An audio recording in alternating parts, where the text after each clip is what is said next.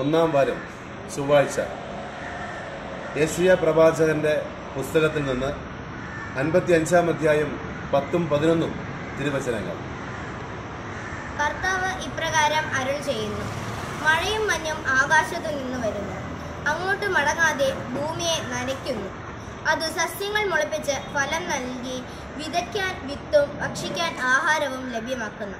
എന്റെ അതിരങ്ങളിൽ നിന്ന് പുറപ്പെടുന്ന വാക്കും അങ്ങനെ തന്നെ. ഫലരഹിതമായ അത് തിരിച്ചു വരില്ല. എന്റെ ഉദ്ദേശം അത് നിറവേറ്റും. ഞാൻ ഏൽപ്പിക്കുന്ന കാര്യം വിജയപ്രദമായി ചെയ്യും. കർത്താവിന്റെ വചനം.